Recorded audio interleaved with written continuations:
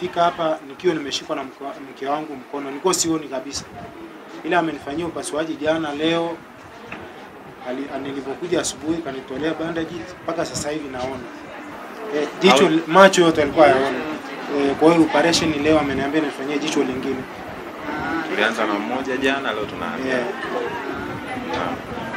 akitoa miwani kidogo, mnaweza labda mka kama ataruhusu, mnaweza mkapata picha mkaona tofauti jicho ambalo kwa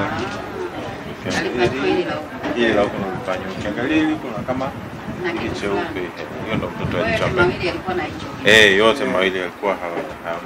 Lakini sasa hizi anaona kwa jicho moja. Kwa hiyo tumepanga kwamba siku ya leo tutamalizia jicho la pili. nilikumbwa na, na changamoto ya macho takriban kama miezi miwili iliyopita. Macho alikumbwa na hali fulani, nikawa naona kama ukungu, baadaye akawa ametengeneza hali fulani hivi kama mtoto wa jicho hivi. Kwa hiyo changamoto ilinipelekea ni maisha yangu kuwa magumu sana kutokana na changamoto hiyo niliyokumbana nayo. Msaada wangu ukawa ni, ni mke wangu ndo akawa na hangaika masuala ya riziki na nini. Nilikata tamaa sikutegemea kama naweza nikapona tena macho, nikajua nishapata upofu tayari. Nilikuwa nimefika siku ya Ijumaa, Ijumaa hapa hospitali, wakawa wamenipima wakaniambia uje siku ya Jumatatu, kuna madaktari bingwa wanakuja kutoka Benjamin Mkapa watakuhudumia. Kwa hiyo nikawa nimekuja jana, wakawa wamenifanyia operation ya jicho moja kwanza.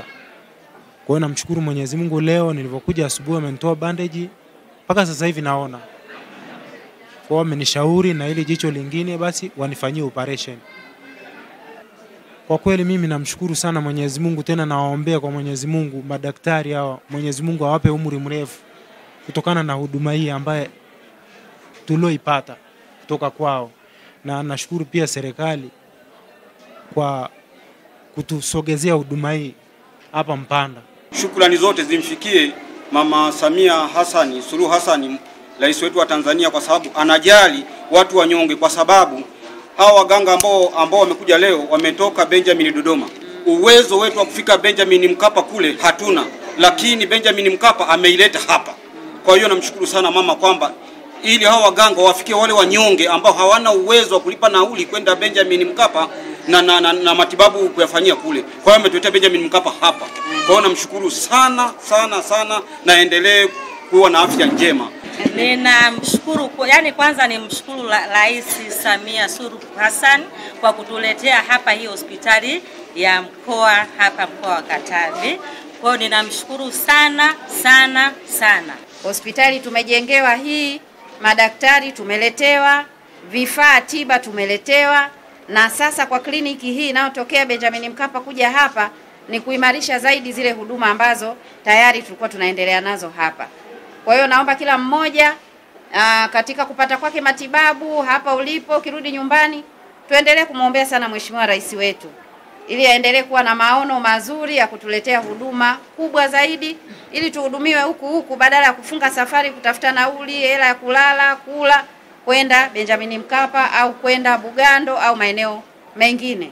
Na niwahakikishie kwamba kila mmoja atapata huduma, yaani kila mmoja ataonwa na madaktari.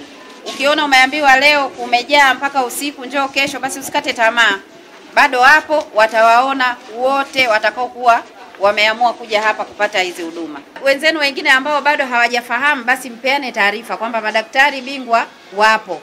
Kila anayejihisi ana changamoto aje, atapata ushauri, atapata vipimo. Kama anahitaji matibabu, atapata pia matibabu na atarejea nyumbani akiwa amehudumiwa vizuri.